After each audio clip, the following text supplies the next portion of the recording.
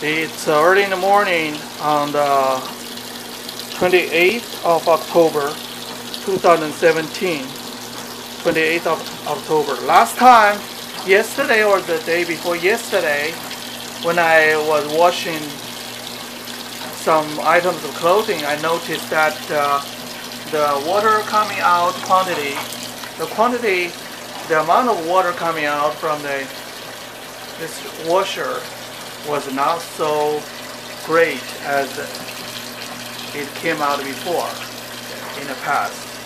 So I noticed that this kind of situation, new condition, yesterday or the day before yesterday when I washed some items of clothing last time. And now it's uh, Saturday early in the morning at 1 a.m. on October 28, 2017 now. The current quantity of coming out water